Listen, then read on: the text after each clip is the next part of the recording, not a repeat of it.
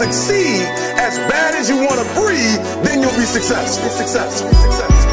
Have you ever had that feeling that life was just unfulfilling? More that you try to find it, the more that you got to witness the bush that you done been in. All the pain you done went through, I'm grateful for being here. But sometimes it made me resentful. I try to keep my peace and I try not to let it burn. I'm frustrated deep down inside cause I know what I deserve, but I'm still waiting on my turn. Failure is not an option, I gotta just keep my faith cause I know what my God has promised. I think the biggest frustration, knowing that you can make it, but still gotta be patient. Hard work. Hard work. Dedication. Dedication. Hard work. Hard work. Dedication. Dedication. Hard work. Hard work. Dedication. Dedication. Hard work. Hard work. Dedication. Yeah. Hard work. Hard work. Dedication.